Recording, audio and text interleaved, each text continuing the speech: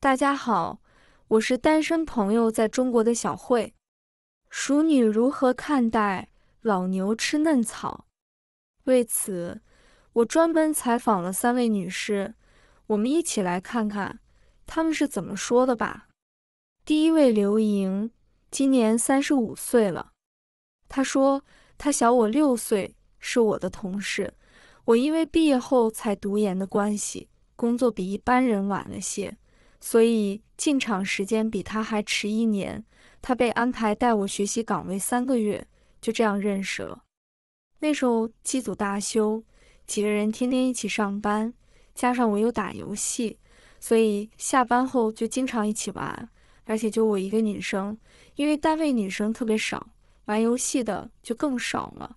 他们开始以为我很菜。没想到我玩游戏的技术还行，平时学习也很认真，所以其他活动也喜欢叫上我一起出去吃饭、去唱歌等等。后来有一次过端午节，出去玩了回来，已经很晚了才回单位宿舍。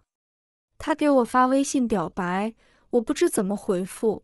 过了一会儿就来轻轻敲了我的门，我打开后他就进来抓着我胳膊，直接强吻了我。我直接吓到了，难道年轻人都这么玩的吗？然后跟我继续表白的时候，我吓哭了，以为他对我图谋不轨。还好我当时来那个了，不过他也是第一次这么激动吧？当时都感觉到他自己也紧张到发抖了。其实我原本不想跟比自己小的男人谈恋爱，因为我的经历让我比同龄人都成熟一些，而且。更不想跟同事谈恋爱，如果谈崩了，上班就很尴尬。但是他跟我说了好多，就是说要试试，给他一个机会。我估计当时也上头了，正好我也刚从一段学生时代的苦情恋爱中解脱出来，处于感情空窗期，就迷迷糊糊答应了。当时身边的人都没想到我们会在一起，毕竟年龄悬殊不小。我父母一开始也特别反对，他们觉得我是不是疯了？我还以为他父母会不同意呢，没想到他家人竟然支持他。说起来这件事，我一辈子都会感谢他的家人吧。谈恋爱的时候，我们也会偶尔争吵一下。那时候我刚来公司，很多事情应付不来，烦恼特别多，加上被前男友伤害特大。后面虽然是我忍受不了单方面决裂，但对我情绪的影响也还是很大，所以也无形中影响跟他恋爱时的状态。不过他真的比我想的懂事，比我想的认真啊，包容了我很多，甚至在同事的质疑声中也义无反顾站出来维护我。他说他很爱我，不会管别人怎么想，怎么说。因为觉得我值得。另外，在亲密关系方面，可能是由于还年轻，他精力非常旺盛，有时候折腾一晚上都不累。和我前男友相比，确实还是年轻身体好。不过他技巧方面比较欠缺，很多时候都是靠我的引导。平常有的同事会开玩笑说他只会吃软饭，而他就会不在意的说。你们又不知道软饭有多好吃，不过我们甜蜜的时候会很甜，吵架呢也真让人绝望。但是他还是一直在努力学习如何做一个合格称职的老公，我只能多给他一些耐心了。第二位陈瑜，今年三十四岁了，他说他是一名健身教练，我是他的私教会员。从第一天上他的课就觉得他好帅好可爱呀，但我一直觉得不太可能，毕竟年纪差太多了。他还在读大四，我已经硕士毕业工作快三年了。后来一起约饭看电影，我感觉他对我应该也有那么点意思。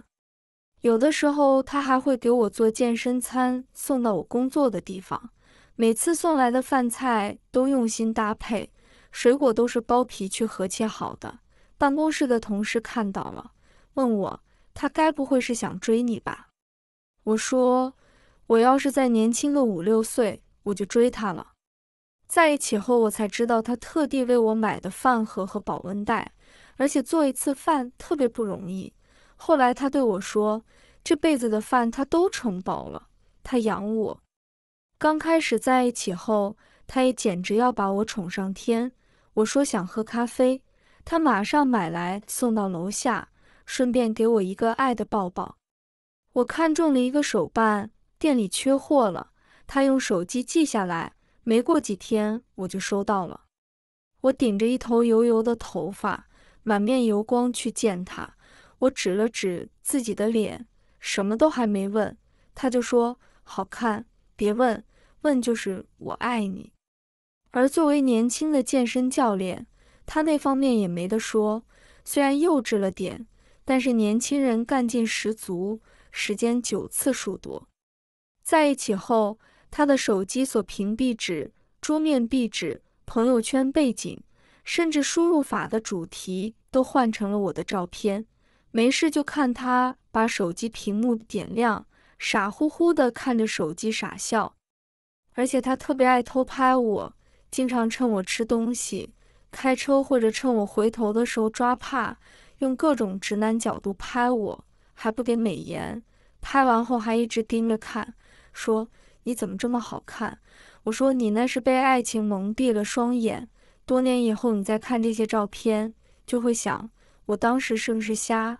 他说，多年以后我再看这些照片，就会感叹我当初花了多少幸运值才遇到你。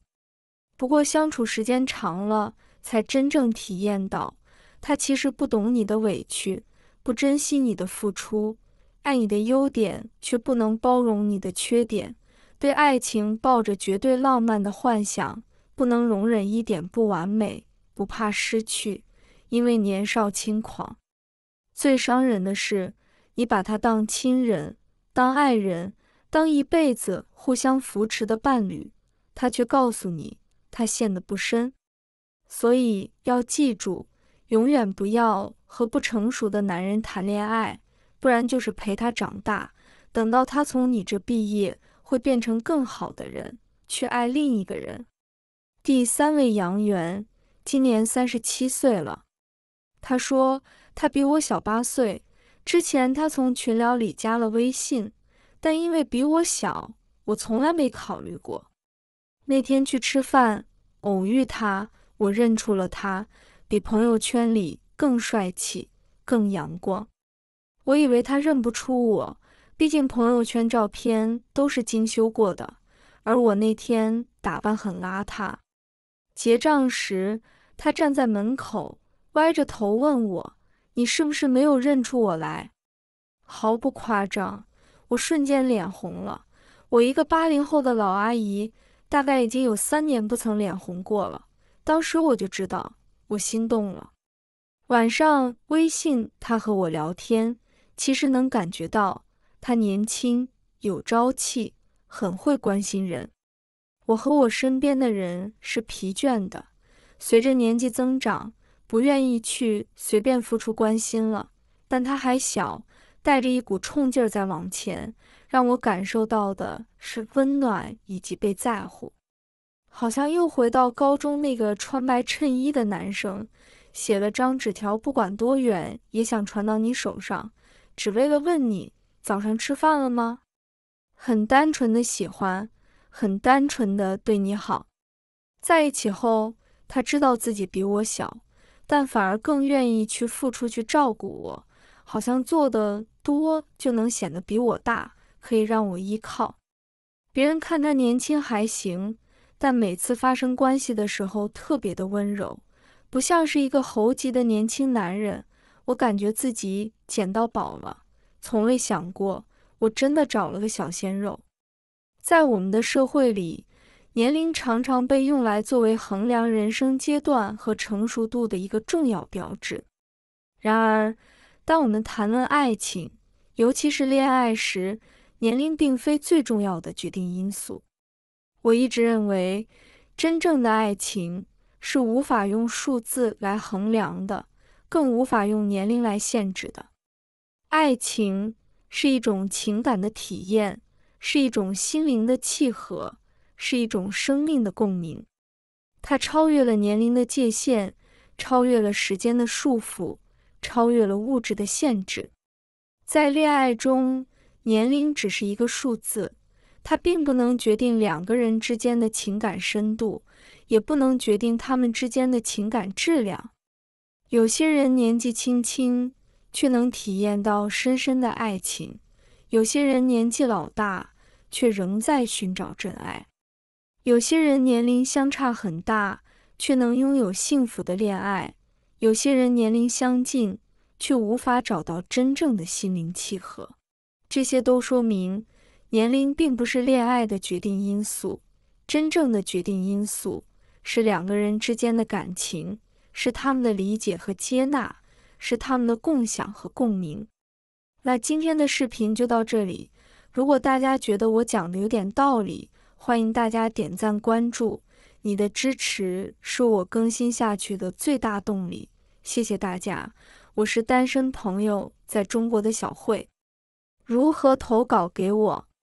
如果你是手机用户，打开视频下方的简介，点击投稿链接。如果你是非手机用户，可以直接点击视频下方投稿链接。